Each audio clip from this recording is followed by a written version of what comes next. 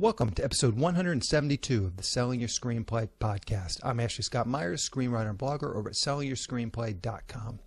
Today I'm interviewing Martin Koolhoven, who just did a Western called Brimstone.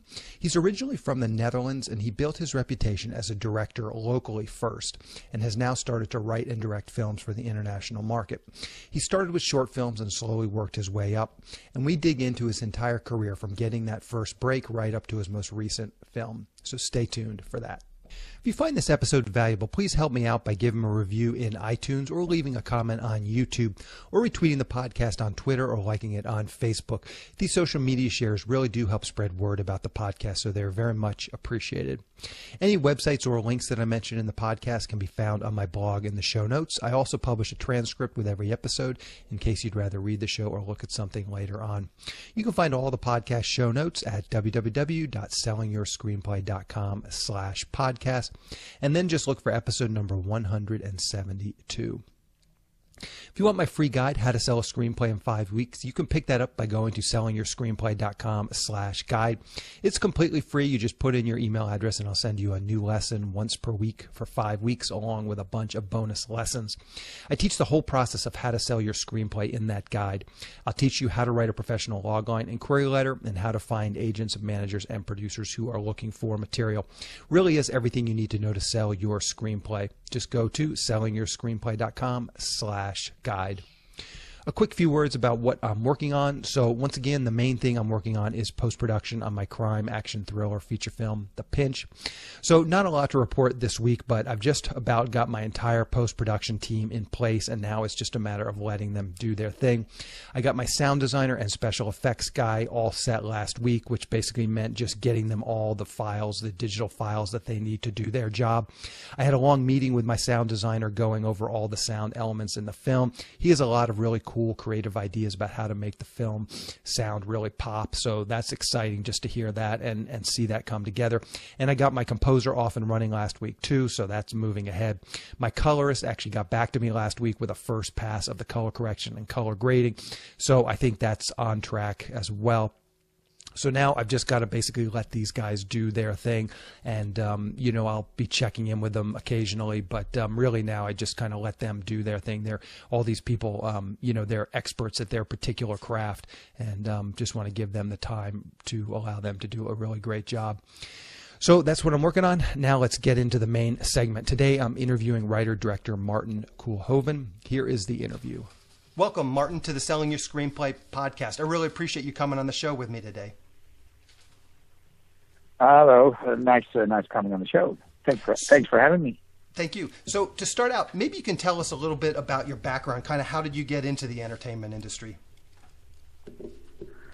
Um, well, I was uh, as a as a child, I was already you know completely bonkers about, over movies, and uh, at some point, uh, I started to realize that uh, movies were, you know, actually made, and instead of just, you know, thing, uh, things that were thought up by the actors as, uh, you know, as they go along. Uh-huh. So uh, uh, I think at some point, I think I must have been 17 or 18 or something like that, that I sort of started to slowly dare to say that I uh, that I might want to be do something in the entertainment industry, and uh, then at first I went to uh, to um, uh, uh, uh, a type of a film school, but not the not the film academy in Holland.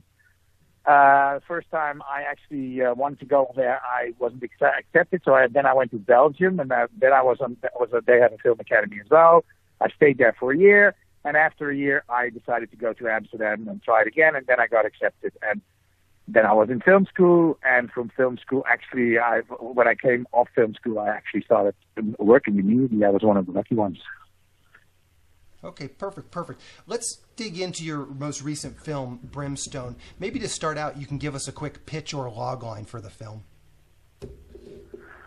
Yeah, it's um, it's yeah, it's it's a movie um, about uh, Liz, who is a young woman who lives in uh, in uh, in the old west, and she uh, well, she seems quite happy, and she's got a family. Uh, um, but things go terribly wrong when there is a new uh, reverend uh, in her church, and she immediately recognizes his voice, and, and, and, and you can see on her she realizes that you know that this is this is bad news. And the movie basically is about how she uh, yeah, what she has to go through and what she has to do in able to uh, to, uh, uh, to to survive and to have her uh, uh, uh, her her family survive. And uh, um, uh, it's a movie in four chapters, and, and, and it also tells uh, how things, you know, the, the events that led up to how things are the way they are. Mm-hmm. Where did this idea come from? Um, um, it, it, it, it was very strange actually. I, I started out uh, when I my la- the movie I did before was called Winter in Wartime, was very successful um, in in where I come from, and uh, I had done several movies that were quite uh, uh, um, uh, successful, but this one really uh, uh, topped them all. And uh, it was sold well. It did well on the on on on uh, uh, on on uh, on the video market in uh, in America. And you know what happens then is that you know uh, well, Hollywood started calling, and in, and in England started calling, and that sort of got me warmed up to the idea of doing a movie in uh, in the English language, an international movie. Mm-hmm. And um, and I had said no to so many scripts. Uh, and at some point, some producer said to me, uh, uh, you know, okay, but what is it that you would want to do? And I I joked and I said, you know, I would like to do western. And then he said, yeah, well, why don't you? And then I, I, I started thinking, I said, yeah, why, why don't I? This was actually before um, uh, Tarantino even announced uh, um, Django Unchained, so it was completely not on vogue to do a Western. And uh, uh, but it, it did it did start me thinking, and I thought that if I was going to do a, a, a an English spoken movie, then maybe it sh- maybe it should be a western because I mean I know quite a lot of the period, I've seen a lot of movies, and I would feel much more comfortable writing a, um, uh, uh, uh, some, somehow an historical piece about a period that I know a lot about than I would, you know, if I would do um, a contemporary movie in New York or whatever. Mm-hmm. So that's where I that's where it started, and then I started thinking, okay, um, uh, oh, you know, what is it that I like about westerns? What is it? And and then I came to the idea that you know it's it's this sort of boyish idea of adventure and everything's possible. And it's almost an anarchy that you, that, you know, which is really attractive to uh, especially men. But then I also then I realized and I thought, you know, this is this is uh, that's of course only half of the truth. This is you know uh, this is purely uh, uh, from a male uh, a male perspective. And I realized that actually, you know, the, the, the myth of the of the old west is, the, is is a complete macho myth. And when I realized that, I thought, okay, I have to do a movie which shows the the other side, which shows you know has a more uh, feminine point of view. And so that was one one part of it, and the other part was that I I you know I had when I had decided to to write a western, I was also intimidated by the fact that there are so many great ones. Mm-hmm. And I felt that if I was going to do something which had, you know, any meaning or value or, you know, could contribute anything to the genre, it had to be something personal and it had to be something that had a lot to do with my cultural inheritance. And so I came to the, uh, I was brought up uh, religious and, and, uh, uh, uh the Calvinistic belief is a, is a, a very, uh, how you say that, uh, strong influence on, uh, on, on, on the Dutch society as we know it now. So I decided to, uh, to combine those two things and that's basically where, uh, where, uh, uh, uh, Brimstone sprouted from. Yeah. Now I'm curious. Sort of the the typical thing you hear from distributors are that westerns don't play overseas. Obviously, they can play well in America, um, and it sounds like you're very well versed and have seen a lot of these movies, and yet you're from Europe. Are you atypical because you're you know really into film? You went and you know watched all of these western movies growing up. Do a lot of Europeans do yeah. they enjoy these westerns? Well, the thing is that uh, I think it is in the last years, I think uh, uh, uh, uh, the westerns haven't been so successful. Uh, not only overseas, I, I don't think there have been a lot of movies that were uh, westerns that were successful in America. To be truthful, either. Mm-hmm. But the people in the movie industry, uh, you know, especially film, you know, filmmakers, writers, and directors, and actually also actors, they have always loved the genre and and and I think they uh, the moment I said I was going to do a western, I haven't had so many uh, all actors I know, you know, uh, texted me and said I want to be in it, and everybody thought it was a wonderful idea, and I think that is what it always has been. It is, you know, uh, uh, uh the door seems shut, but the moment you know there seems to be a little crack or a little little opening, and you know, then I think all filmmakers will jump into it because it's, I think it's the greatest genre there is, and I think most filmmakers think that. And uh, uh, any, any, and, you know, the moment uh, uh, something, you know, there's a you know, one that is a little bit successful than everybody, you know, you know, hopes that they get their their western. I mean, most, I mean, Scorsese has said that he wanted to do a western. Uh, uh, uh, Park Chan Wook has uh, uh, uh, said he wanted to do a western. I think uh, any any uh, director wants to do western. I think. Yeah, yeah. But do you think just the average European audience is interested in this? Yeah, well, they, I I don't know where the idea comes from that uh, uh, that they're not. I mean, mm-hmm. in, in, when westerns were really popular, they were extremely popular in uh, in Europe. I mean, at, actually, they were more popular uh, when when uh, in the early '60s.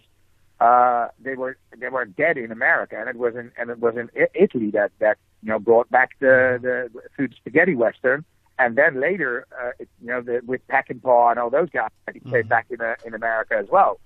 But uh, uh, uh, I, I I don't see. I think you know it's. It, I think it's a it's a conception of Americans is that you know because um, it is of course an American genre that that maybe Europeans don't uh, uh, don't like them so much. But the thing is, of course, is that uh, uh, to us, it's not pure. It's not purely American. It's you know because the the the the the, the people that were actually there at that time you know, were European, so it's mm-hmm. it's it's somehow you know a, a thing that connects connects us. Yeah, yeah.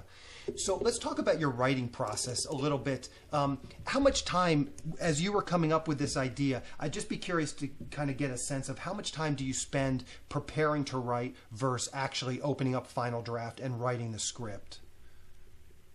Oh, I do a lot of I do a lot of uh, I I start reading about things. I start uh, watching movies that have sort of uh, thematically uh, got something to do with it. Um, uh, I do a lot of preparation in that sense, and then mm-hmm. I actually I postpone the actual writing as long as possible. I mean, I'm, I'm I know there I'm.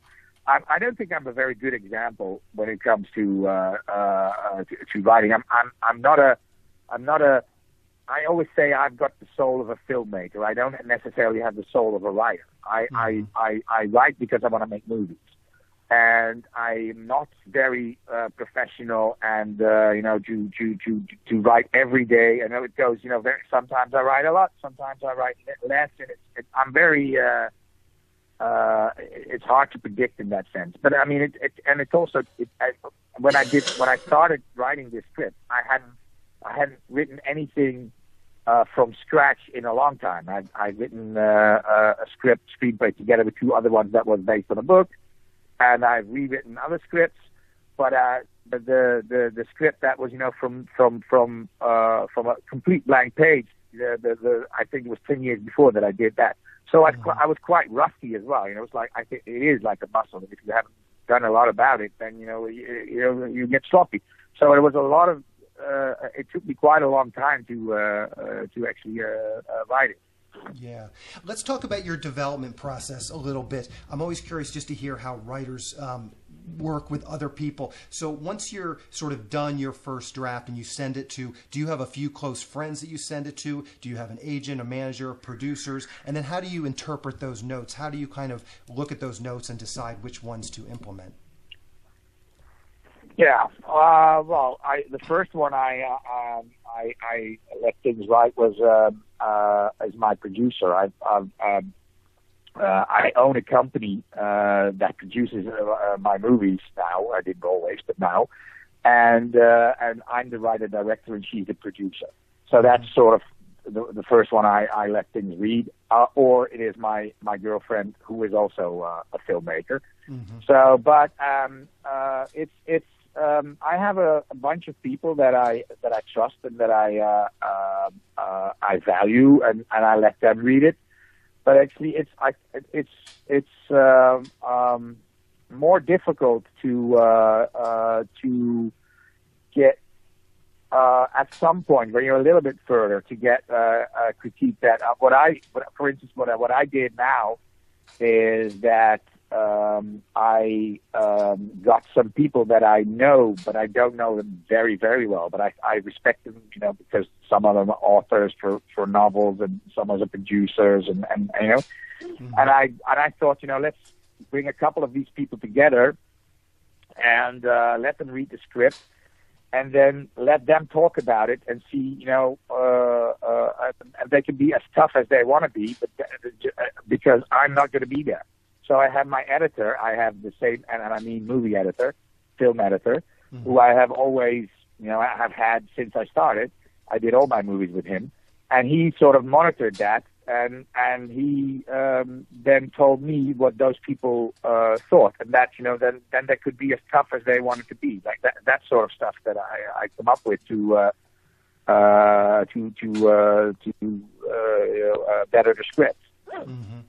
And I get in, and also I got in. Uh, uh, I got Franco Ferrini, who is the is the writer. Uh, he, for instance, is one of the writers of Once Upon a Time in America, and he, and he also wrote for Dario Argento and I got him in at some point. Huh. I got uh, to to to uh, and, and uh, I got um, a script doctor from Britain that is I think she did Shakespeare in Love. I got so I, I anything mm-hmm. to uh, to uh, you know to to uh, get that script to become better.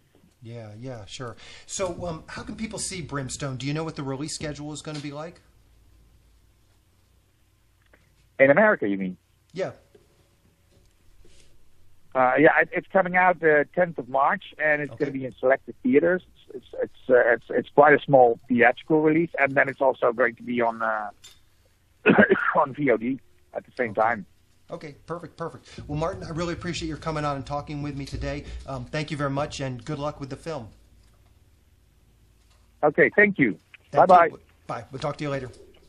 Just want to mention two things I'm doing at Selling Your Screenplay to help screenwriters find producers who are looking for material. First, I've created a monthly newsletter that will be sent directly to producers. Every member of SYS Select can submit one logline per newsletter. I went and emailed my large database of producers and asked them if they would like to receive this monthly newsletter of pitches. So far, I have well over 350 producers who have signed up to receive it.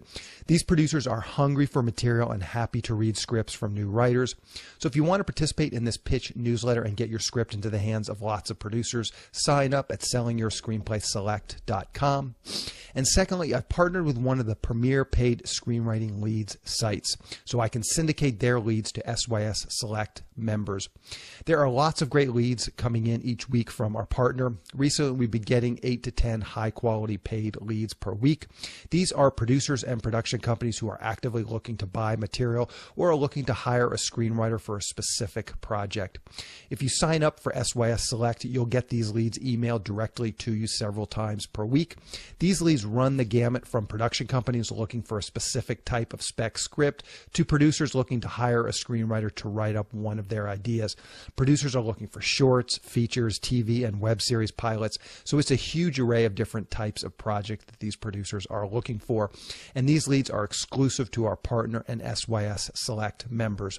To sign up, just go to sellingyourscreenplayselect.com.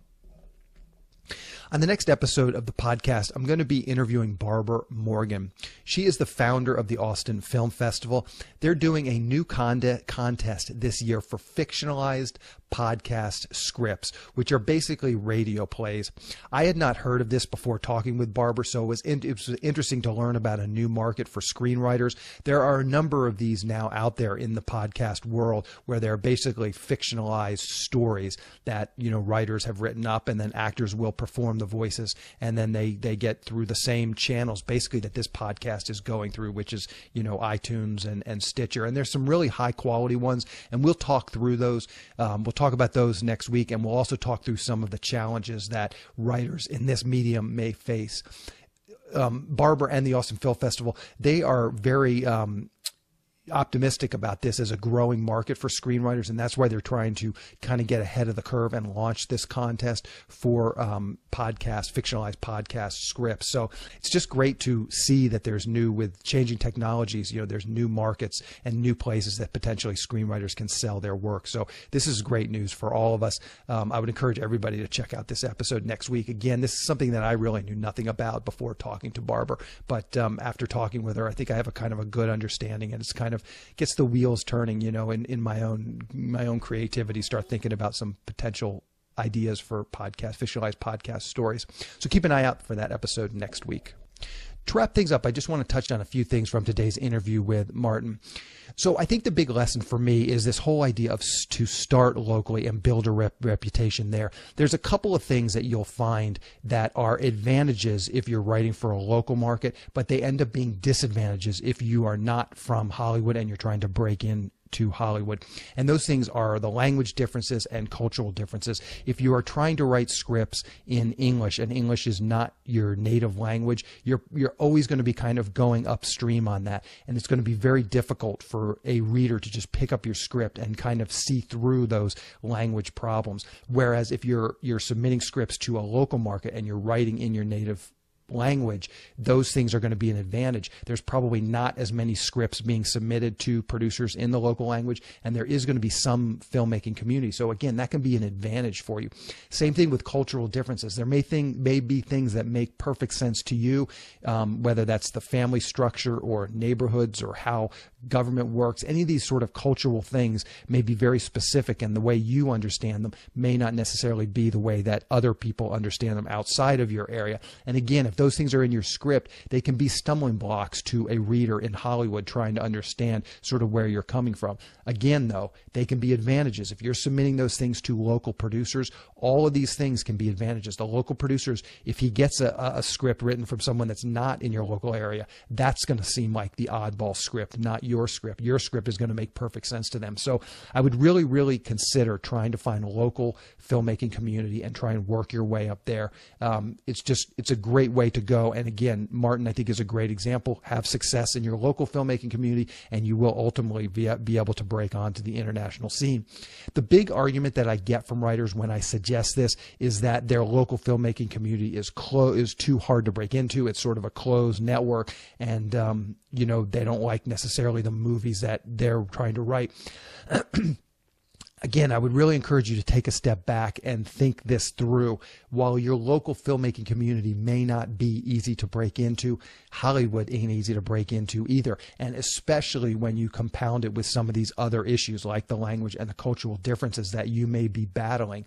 So again, I would t- say take a hard look at your local filmmaking community and really think about that. Um, I think in most instances you're going to find it's probably better to go to a local filmmaking community than try and branch out and go to Hollywood. And when I say this too, I'm really talking about countries where English is not your primary language. If you speak fluent English, you're probably in pretty good shape. Obviously, people in the UK, Australia, where English, there may be some small cultural differences, but between the UK, the Australia, and the US, there may be some differences there. But because of the language, because these folks speak fluent English, there may be cultural differences, but um, the language is not going to be an issue. And so I think for the most part, uh, American readers in Hollywood could probably read a script from the UK and they could kind of understand that there may be some cultural differences, but because the language would all be there, um, probably your chances of breaking in would be would be okay, um, as opposed to going upstream and trying to write something that's not in your native tongue. Again, if you speak fluent English, you're probably in pretty good shape. But if your English is not fluent, I would highly encourage you to look locally for your local filmmaking community. See if you can't break into that. I've written a couple of blog posts on this exact topic, so I will link to those in the show notes. So if you're somebody who is not from the United States and you're trying to break into Hollywood, I would say definitely check out these two blog posts because they go into some some sort of more detail on, on what I'm talking about here. Anyway, that's the show. Thank you for listening.